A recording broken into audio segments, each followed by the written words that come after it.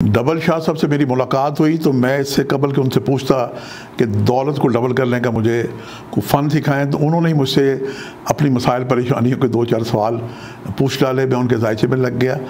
आज मैं आपको दौलत के डबल होने का कुलिया कायदा हलिया करता हूँ कि आपके पास अगर एक लाख रुपये है तो उसे लेके जनाब आईने के सामने आएँ तो चपलक चपकते ही आपका लाख रुपया दो लाख हो जाएगा।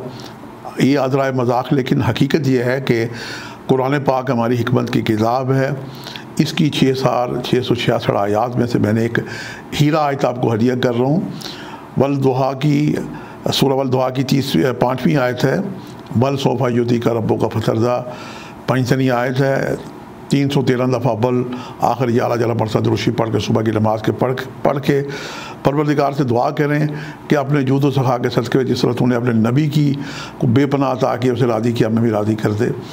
बस यही फ़न है, इसको जारी रखें।